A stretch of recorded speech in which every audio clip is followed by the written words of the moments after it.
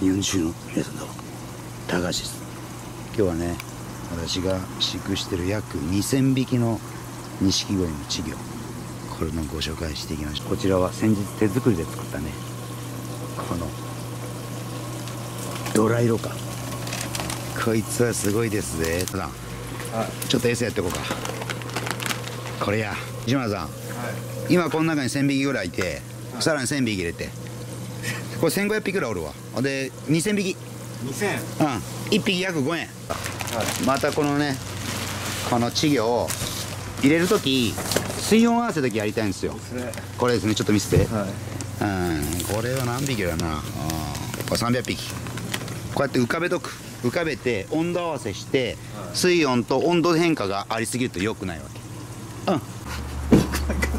ええよ錦鯉の稚魚ほらやってほらこれ紅白昭和もうミックス。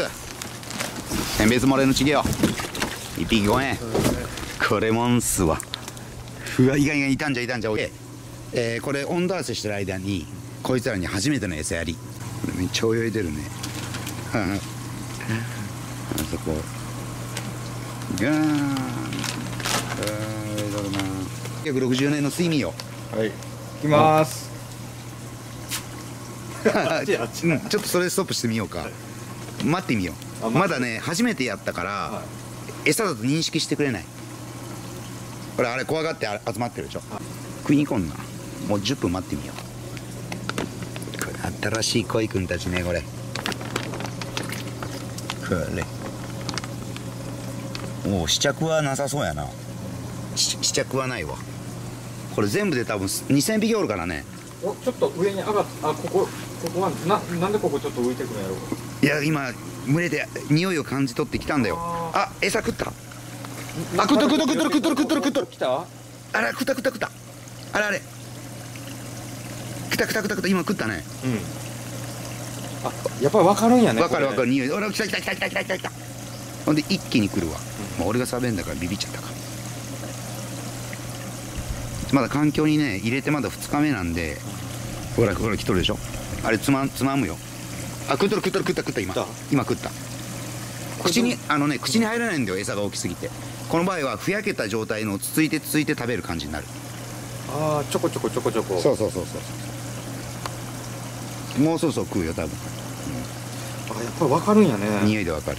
でもうあれ警戒取って。ほら警戒取れてきた。ややっぱりうん。警戒が食食欲は警戒を上回るんですかね。そうですね。こうやって約2000匹の錦鯉の稚魚を飼育することによってこの中にジャンボ搭載いわゆる宝くじみたいなねすごい錦鯉が混じれてるかもしれないわけ。でそれが2億円っていう価値が出てくるかもしれない。世の中にはとんでもない大金持ちがいますからそのおじさんたちがこれ1匹1億円で売ってくれんかいって売れまいかってやってくる可能性がある。うんつまんでる感じだね。ああ食べとる食べとる。うわうわうわすげえすげえすげえすげえ。うわこれはすげえ 食欲だ。食べとるで。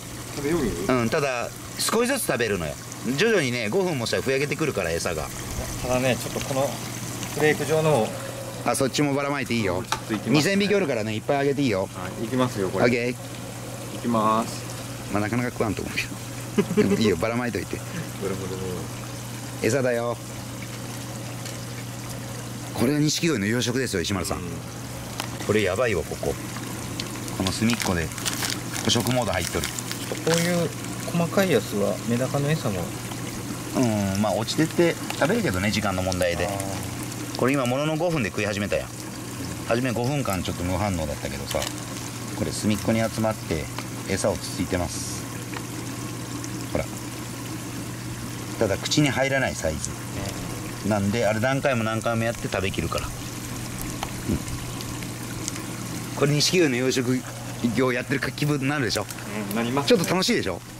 一瞬楽しかったですでしょ？はい。すごいでしょ。いろんな色の錦鯉いるでしょ？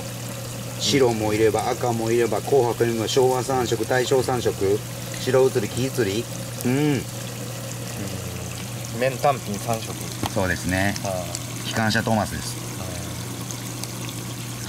ああいいねなんか黒っぽいのはね昭和3色なんだよ。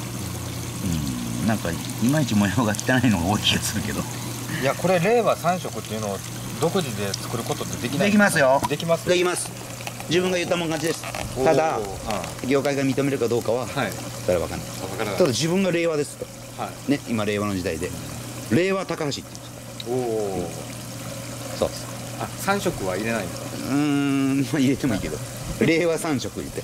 あそれいいね。じゃあ石村さん私はい。任命しますよ、はい。令和3色の魚の、はい。ね、特徴を決めてそれを教えてください。いなわゆる大正3色はい。はね赤赤。白黒。で大正3色っぽい、はで紅白ははい。白と赤ですよ。はい。で昭和3色はちょっと黒の強めのはあ黒赤白。いはねい。ろいろありますけど。はい。いやどういうのを令和3式にします？虎柄ですね。虎柄。はい。じゃあそれ今度あの近いうちにこれでやって、はい。もううちのチャンネル内においては、はい。令和3式令和三式えはい。1匹300万円ではい。販売中。高橋養鯉場ちょっと高いんじゃないかっていうね。はいでもあれ自由競争ですから、はい。あの価格は自分で決めていいはずなんですよ。ただ今の小さいうちだったら、えちょっと安くしてもいいんじゃないですか？でもこの養鯉場に入った瞬間に1匹20万円以下では売らないですよ。ああもう価値が。価値が全く違います。違うんですか？だって1匹2億円で売れる可能性ありますから。あはい。その2億円で売れるのをなんで20万って安売りしなきゃいけないのって、ーそうですね。ですよね。うん。仕入れ値5円ですけど、はい、今日の仕入れ値は5円です。1匹。いやこれが商売なんですね。そうですどこでもそうですよ。安く安く仕入れて高く売る。いやーこの2000匹の錦鯉どう石丸さん、うん迫力ありますね。ただまだ餌食いに慣れてない感じだね。こっちのちっちゃいやつやったらもっと。うん。そうやね。ああ一口沈むわあ沈下性だね、あ食べてあ食べて食べてる沈下性の。あー食べとる食べとる食べとる。あれやっぱそこにいるやつは沈下性が。そうそうそう。まだ上に上がるのがね警戒しとるのよ。うん。はいこちらですねまたね追加でねこれ合わせると約2000匹の錦鯉ですよこれ。超高級錦鯉だと思いますよこれね。すごく可愛いですねこれね。もうちょいしたら石丸さん。はい。この子たちを解放しますよ。はい。はい。これは高値で売れそうだね今回のは。物がいいよ。うん。今回1000匹ですか？今回はこれ何匹か忘れよくわかんない。とにかくざっくり2000匹なんだよ、うん、計算では今日何匹だかわかんない。これね300匹入っとるよ。300匹300匹600匹ぐらいかな。だから1500入っとるから約2000約ね。約2000匹。ちょっと水をね今回のこれこんな感じ。見える？もっと近づけてみて。可愛いよね。でちょっとずつまあ水温があ大体同じだね水温。ちょっと違うかな手の感覚で。うんでも大体同じぐらいになってきてるわ。でこの場合はこうやってちょっとずつ水温変化が急激になるとすぐ傷むんで。は僕ねペア変化よりも水温変化ですよ。あのやっぱ2度以上違っていきなりバーって離しちゃうと結構弱る。なんでゆっくりゆっくりだとなんで心臓マッサージ人間もそうじゃないですか。っていう感じ、うん。なるほど。こんな感じ今回の虎柄ないああ令和三式、なはい。うん、え変化するんで。あ錦鯉の楽しい時は成長するに違って形が変わるんですよ。色が変わるんですよ、はい。その変化の時に虎柄出ます。そう令和三式いくらで売ります？いやでもちょっとそれは最高の金額つけたいですね。2億を超える。2億。2億では売れない。そうですね。3億。3億。10億ただやっぱり世間に広めるっていうこともあるんで、うん。最初やっぱりちょっと安く、まあ錦鯉本気でやってる方からめちゃめちゃ今怒られてると思うバットボタン連合ですよ。勝手なことするなんつって。ただこのチャンネルの中だけですから、あそうですね。ただ僕ね、はい。どんな業界もはい。カルテルってあると思うんですよ。カルテルトラストコントレールそう。だから僕テレビ局に対して文句がある。はい。要するにテレビを独占してるわけ。はい。あの電波を僕がもらわなきゃいけない。うん。そうでしょ？山さん。はい。やっぱいいですね恋は今ね日本中でもうちょっとゆっくり言えよ。うん。日本中でね恋ブーム来てるらしいんですよ。あ今ですか？はい。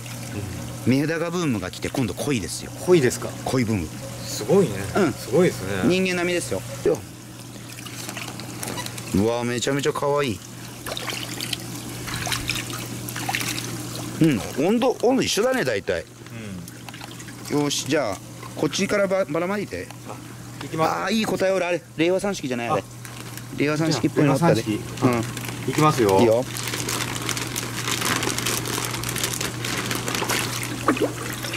うわあいいね。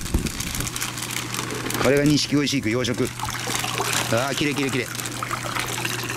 ああその一品残ってるから沈まし全部沈める。はい全部沈める。はい。ああそうそうそう。弱らせないように。高いんだから。なんてこの子たちは残ってない。です残ってない。水が汚いけどいいね。うわー300300の600入って2000匹。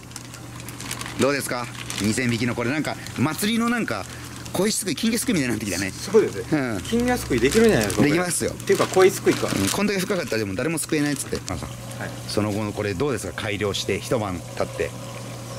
うん。このドライロカオリジナル。まあちょっとまあ水がねやっぱり白く濁ってなかったんで、あれだけね、うん。昨日おとというん。1000匹入れたにもかかわらず、うん。だからうまくいってるんじゃないですか、最強のロカですね。この DIY シャワー式になってるんです。このね赤玉土と防犯ジャリジャリのこのコンビがすごいですよ。うん。全部シャワー状。1000万匹ですか、これでや約2000ねこれで2000うでもまあね結構元気やし動き回っとるし。んいいね。でもこれがうん。半年も経ったらもういっぱいいっぱいですよねこの。だから餌いっぱいあげたらもうこの状態でね今年の11月。島田さん。あのろ過設備いいですね。あねこの防犯ジャリジャリがね、うん。なんか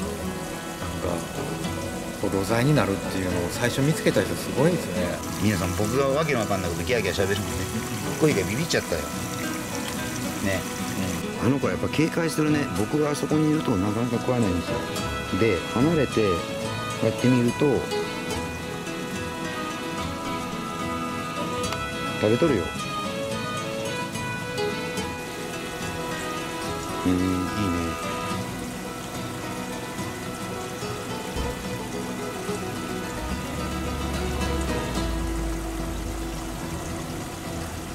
やっぱ導入したばっかりでね警戒心強くて俺らが近寄ると食わない沈んだまま。で離れたとこからこう見ると上がってきて食べる感じ。やっぱ導入間前の時は警戒するんやね。まあ餌がちょっと大きすぎるっていうのもあるけど。そうやなこれ小さい魚にちょっと行き渡らんかったらいかんけん。もうちょっとちっちゃいの買ってもいいね